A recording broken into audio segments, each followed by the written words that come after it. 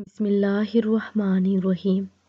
रसूलुल्लाह सल्लल्लाहु अलैहि वसल्लम ने फरमाया, जो शख्स सिद्क दिल से अल्लाह से शहादत तलब करे तो वो इसे शुहदा के मुकाम पर पहुँचा देता है ख्वा इसे अपने बिस्तर पर ही क्यों ना मौत आए।